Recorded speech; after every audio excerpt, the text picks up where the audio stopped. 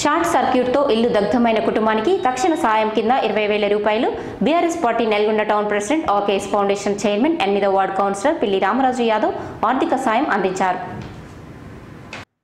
Nalgonda municipality నలభై నాలుగో ward మాన్యం Chelka జిల్లా పశు వైద్యశాల వెనుక భాగంకి చెందిన గులాం రహ్మాని కిరాయికి ఉన్న ఇల్లు ఉదయం పది గంటల సమయంలో హఠాత్తుగా షార్ట్ సర్క్యూట్తో పెద్ద పెద్ద మంటలు వ్యాపించి ఇల్లు మరియు ఇంట్లో ఉన్న వస్తువులు మొత్తం పూర్తిగా కాలిపోయాయి.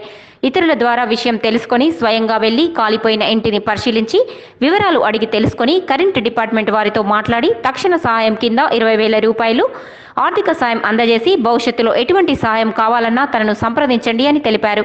వారితో పాటు ఇరవై ఆరవ వార్డ్ మహమ్మద్ బసీరుద్దీన్ జమ్మూతుల్ మహి జిల్లా ప్రధాన కార్యదర్శి అక్బర్ ఖాన్ ఇస్మా షరీఫ్ మత గురువులు మీర్జాబేగ్ సుబాని నాజర్ హుస్సేన్ మౌలానా హుస్సేన్ మరియు తదితరులు పాల్గొన్నారు.